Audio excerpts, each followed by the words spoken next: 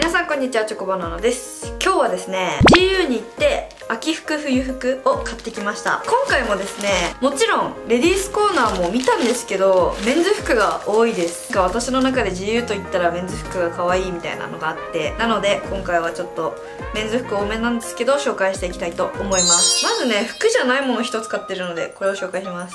じゃーん。コモコのね帽子を買いました。これ可愛いんですよ。なんかね髪色が今ちょっと派手だからこういう帽子もね結構かぶれるなと思って買いました。なんかこう深くかぶれるし頭がモコモコでいい感じだなと思って買ってみました。ちょっと大きかったかも、まあ、小顔効果みたいな感じ。最近服がちょっと地味なものが多かったのでちょっとなんかワンポイントみたいな感じでこれを買ってきました。キャンワービーで。服を4着買っていて4着中3着がメンズなのでまずレディースのもの1着紹介します。こちらです。じゃじゃーん。タータンチェックテーパードパンツ BB っていうものになります。このね色合いがなんかクリスマスっぽくて 緑と赤と青ちょっとした青。わかるかな？こんな感じの色で。履くとね結構派手めかなとは思ったんですけど上の服とかが黒とかが多かったりするのでこれを買いました。次からメンズなんですけど私今回まだ福島に来た時最初は8月の終わりくらいだったからまだ暑かったんですよ。だからな半袖しか持ってきてなくて寒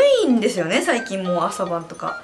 なのでその時に着る用のジャケットみたいに着る用でこのシャツを買ってきました。オープンカラーシャツ長袖ってやつです。これもメンズの S サイズを買ったんですけどメンズの S サイズも結構大きいんですよ自由。なのでこのなんていうの茶色？なんかココアみたいな感じの色でこれシャツ普通のシャツなのでこのまま1着でも着れるし半袖の上にねこれを羽織ってもいいなと思って買いました。今着てるのがトレーナーだからさあれなんだけどちょっと秋っぽいカラーだし髪の毛の色が派手な分ちょっと服はねあの地味めにしようみたいな感じで思って買いました。これがお尻なんですけど。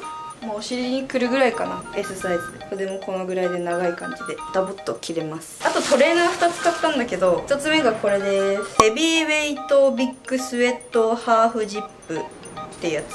になります。大きめのトレーナーなんですけど一応 S サイズなんだけどメンズなのでちょっと大きめになってます。この首が可愛くて私は買ったんだけどここがねジップになってジッパーになっててこの首まで上まで上がるようになってます。これをこうやって開けてきても可愛いし最近フードよりこのジッパータイプのものは私がハマっているのでこれを買いました。後ろもねこのお尻ぐらい私のちょうどお尻ぐらいになるところにこんな感じでロゴみたいなのも入ってるので可愛いなシンプルで可愛いなと思って買いました。素材も中は裏起毛みたいになってるので超あったかいかなと思います。最後がですねこちらチャラーちょっと派手めなんですけど、黄色のスウェットを買いました。これはユニバーシティ・オブ・ミシガン。なんかあれか、なんか大学と、大学の名前書いてあるシリーズなのかな今知ったんだけど、これもヘビーウェイトビッグスウェットシャツっていうやつになってます。こんな感じ。黄色に、紺かなで、ミシガンって書いてあるやつかなになってて、これは、あの、普通の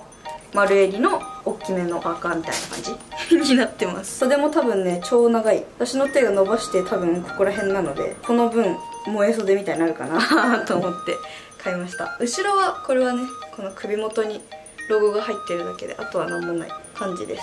こんな感じで今回の自由の購入品は以上になります。なんか秋服を探しに行ってなんかもう秋っぽいボルドーっぽいのとかいろいろ探してみたんですけどなんかこれといって私が着たいなって思う服がレディースコーナーになくってでメンズコーナーにね可愛いこのスウェットたちがいたのでこれを買ってきました。まだねスウェットは裏起毛なのでまあちょっと着るの早いかなちょっと暑いかなって思うんですけど早く着れる時期になってほしいなと思っています。それではチョコバナーでした。